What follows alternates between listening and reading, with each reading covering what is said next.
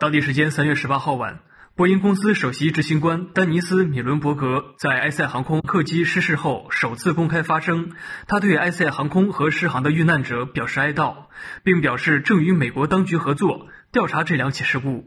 The tragic losses of Ethiopian Airlines Flight 302 and Lion Air Flight 610 affect us all, and we join the world with heavy hearts in grieving. The depth of pain felt by the loved ones of the passengers and crew on board is difficult to fathom, and they remain in our thoughts. 米伦伯格还表示，埃塞俄比亚事故调查局将会决定何时以及以何种方式公布进一步细节。波音方面会全力配合调查，提供必要技术支持，确保飞机安全可靠的旅行是波音公司坚持的理念。The investigation is moving forward with work underway to understand the information from the airplane's cockpit voice and flight data recorders.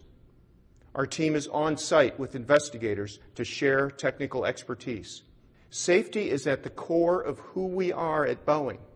and ensuring safe and reliable travel on our airplanes is an enduring value and our absolute commitment to everyone.